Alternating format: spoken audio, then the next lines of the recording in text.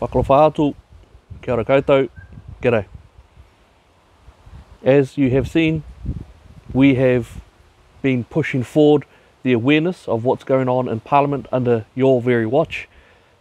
The fact that you have no say in what happens in government and in Parliament. And this is something that we have been speaking and detailing about ever since 2017. In fact, a little bit further, but with this particular government, 2017. Now, we read through the bill five times to make sure we didn't get anything wrong. And the new enforcement officers is yet just part of an expansion of government power, yet again. This government is the most dangerous government that we have ever seen in this country. And I love this country. I have a deep, passionate love and a jealous love of this country. And I know that many of you do too.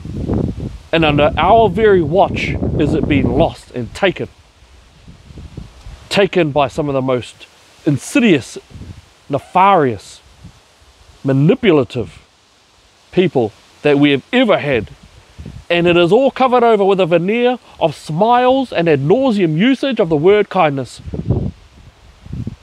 Facilitated by a media so partisan that they suppress conservative voices and allow an occasional token voice. The situation is unacceptable. We as New Zealanders demand that our nation be our nation.